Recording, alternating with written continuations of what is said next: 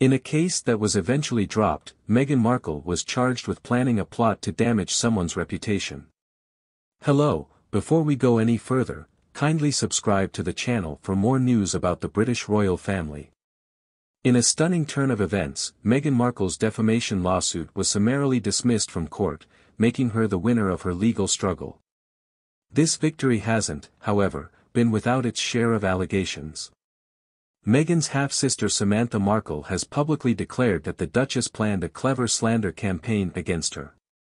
In the early months of 2022, Samantha sued Meghan for defamation, which is how the story started. According to her, Meghan damaged her reputation by giving private information to the unapproved biography, Finding Freedom.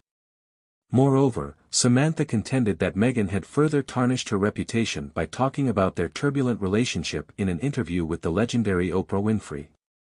Samantha's complaints, however, did not stop there. Additionally, she drew criticism for Meghan and Harry's widely reported documentary series, which debuted in December of that same year on the massive streaming service Netflix. Samantha asserted that this series served only as a platform for the spread of harmful, hurtful, and malevolent misinformation. She claimed that Meghan set out to malign her, portraying her as a dishonest liar and attention seeker.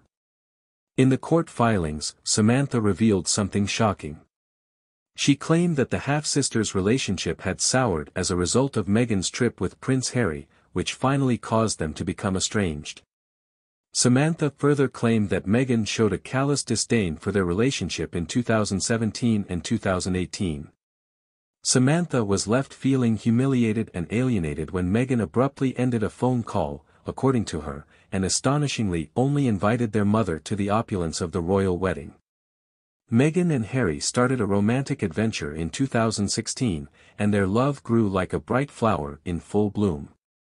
The pinnacle of their relationship was reached in May 2018 when they married in a lavish, nationally broadcast ceremony held in the picturesque town of Windsor. But with all the glitz and festivity, Meghan's family was conspicuously absent, with the exception of her loving mother, Doria Ragland.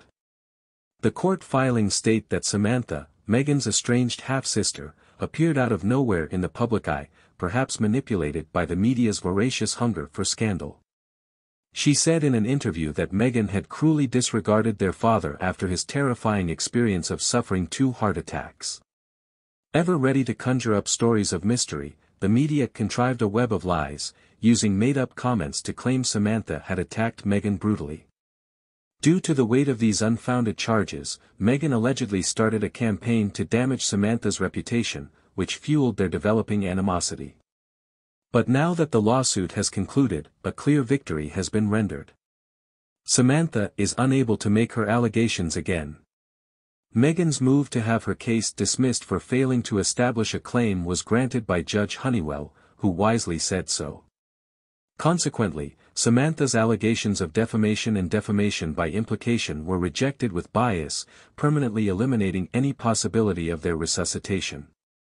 The clerk was told to record a judgment in favor of Meghan Markle, who is better known as Meghan the Duchess of Sussex, as the gavel of justice rang out.